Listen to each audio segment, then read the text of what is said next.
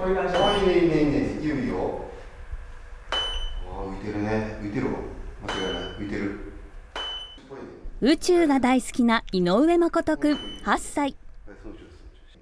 白い壁の前で宇宙を漂うようなポーズをとっています。だいぶ近くなってきた？近くはなってきたかな？なるほどね。特にこれ近いかな。これ近いの？誠くんが撮っているのは道内初の AI 撮影。写真スタジオ札幌ビジョンで今月から新たに一般客向けのプランとして始まったものです。キーワードを打ち込むだけで AI が実在しない背景を瞬時に作り上げます。ここだね。ここなんだ、なるほどねここね。手に取りたいって感じあ撮影後も客の希望に合わせて背景を AI で調整していきます。完成した写真がこちら。誠くんが思い描いた宇宙に浮かんだ写真が出来上がったようです。宇宙が好きでちょっと宇宙の中にちょ AI 合成でもいいから入ってみたいなと思って。どうですか？宇宙の中入ってみて。うん。とてもいい気持ちだった今度はねブラックホールの近くで撮ってみたいかな。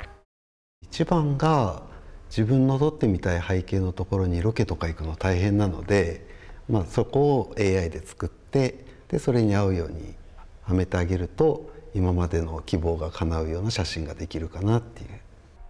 他にもこの撮影が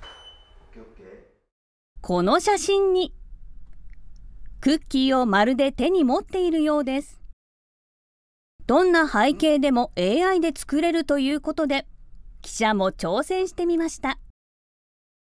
私の子供の頃の夢屋根の上に乗ってサンタを見上げる今からこれを実現させたいと思います。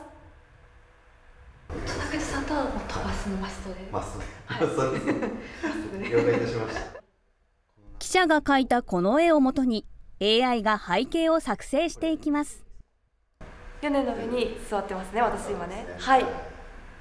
こんな感じで、はい。手出してみようかなそろそろ。サンタさんがいる、はい。トナカイ飛んでる。一緒にすごい。完成した写真がこちら。前田記者の夢が叶いました。どんな理想のシチュエーションも叶えてくれる AI 撮影。皆さんも試してみてはいかがでしょうか